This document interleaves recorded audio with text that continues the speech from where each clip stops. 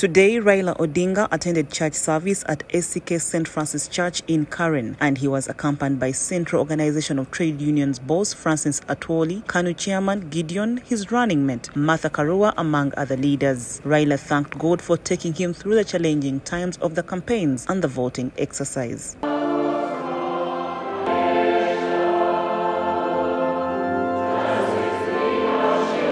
He shared a message of unity from St. Francis of Assisi, calling upon peace and unity. Lord, make me an instrument of your peace. Where there's hatred, let me sow love. Where there's injury, pardon. Where there's doubt, faith. Where there's despair, hope. Where there is darkness, light. And where there's sadness, joy. That is what uh, St. Francis of Assisi said that time. And I think that those words rang very true to our situation here today. And that is what me as a person want to see happen.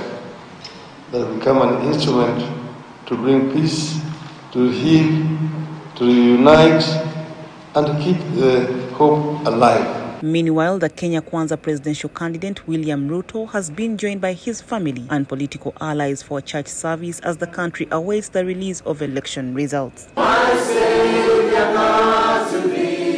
The presidential candidate was joined by his running mate Rigathi Gachagua and his wife Dorcas, among other Kenya Kwanza politicians who were present for prayers and worship. In the congregation at his official Karen residence was also Ruto's mother, Sarah Cheruiyot.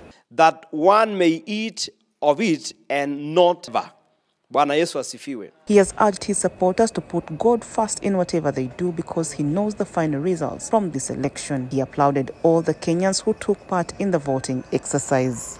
Mamilioni, nafikiri milioni kumi na nne ikiongezeka waliojitokeza ili kupiga kura. Meanwhile, security at the Bomas of Kenya has been heightened as the tallying and the verification of presidential results continues. The General Service Unit has been deployed in the National Tallying Center and no unauthorized persons allowed in the vicinity. Politicians without accreditation have been denied entry to Bomas. They are among the category that was banned from the auditorium.